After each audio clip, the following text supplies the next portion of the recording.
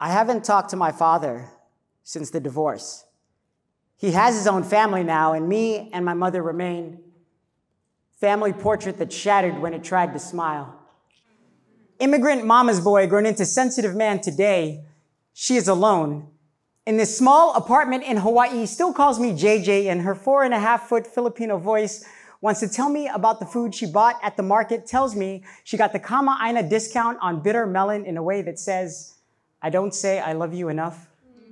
And she, uh, she calls about the weather, as if we were both huddled underneath the same umbrella in a storm, a barong.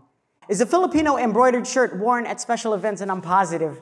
When my mom talks to me, she imagines I am 10 years old again in a barong, left hand clutching X-Men action figures, last of my baby teeth coming out. My mom wants to tell me every lesson she's learned. She wants to protect me from all the evil in this world like racism, drunk drivers, and the stupid white girls with the fancy purses you can get at the swap meet.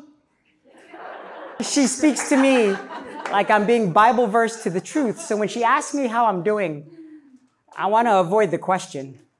I tell her I'm all right, but she knows better knows the conversation has turned confessional, and I confess I haven't been good, that I'm sad for no reason, that I will stay in bed and sleep and cry and clutch my pillow like it's the only evidence I was here because I'm drowning in a body screaming, I give up each time I take a breath. I tell her I'm depressed.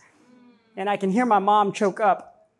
Like she wants to run away from this stranger's voice that used to be her baby boy. She tells me to stop talking about it, but I don't know if it's her culture speaking in tongues or her faith being challenged. She pulls out her imaginary nursing degree and says, there's nothing wrong with me. So she prescribes two pills of judgment before every meal. And I want to tell her, I just need to talk to someone about the really bad days where I feel nothing and everything at the same time that I wish it were so easy to snap out of it and now now. I just want to give the conversation Alzheimer's, amnesia, my depression, like the ex who walked away because she said I wasn't making her happy enough. Find someone who will listen and stay and understands that lonely is a place full of cold, sharp objects and I'm bleeding from the inside, but, but I'm talking to my mom.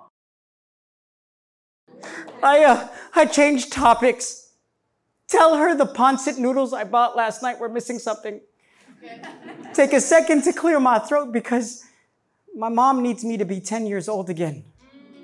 So uh, I take a deep breath, grab her hand with my voice, and straighten up the picture of the perfect family that was never really there. Just like the American dream.